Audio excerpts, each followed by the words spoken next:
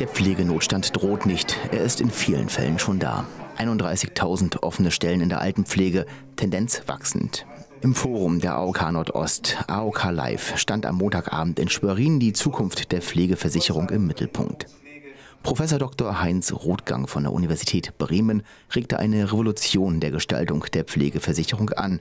Der sogenannte Sockelspitze-Tausch deckelt den Eigenanteil der pflegebedürftigen Personen.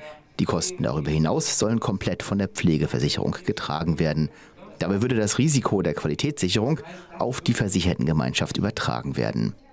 Um den totalen Pflegenotstand zu verhindern, da waren sich alle Beteiligten einig, muss am Pflegeberuf angesetzt werden.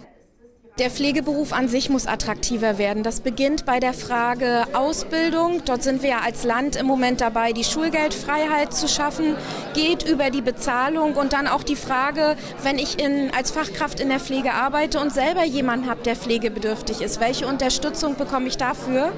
Und all diese Punkte sind Dinge, die auch finanziert werden müssen. Pflege ist ja in der letzten Zeit, jedenfalls nach meiner Wahrnehmung, nicht positiv bewertet worden, auch in der Öffentlichkeit, auch in der medialen Öffentlichkeit, sondern eher negativ. Schlechte Arbeitsbedingungen, wenig Geld, schwierige Verhältnisse, Probleme hier, Probleme da. Und wenn wir das nicht ändern und positiv über Pflege sprechen, dann werden wir Leute, die zurückkommen wollen, nicht motivieren können und wir werden auch junge Leute, die den Beruf ergreifen, nicht motivieren können, den Beruf ergreifen. Also neben den Rahmenbedingungen, die wir natürlich ändern müssen, damit das Bewusstsein für Pflege sich ändert, müssen wir auch besser über Pflege sprechen, damit die Leute Interesse an Pflege bekommen, dies als interessanten Beruf begreifen und dann auch den Beruf umsetzen, entweder die Ausbildung machen oder in den Beruf zurückkehren. Sonst wird das sehr schwer.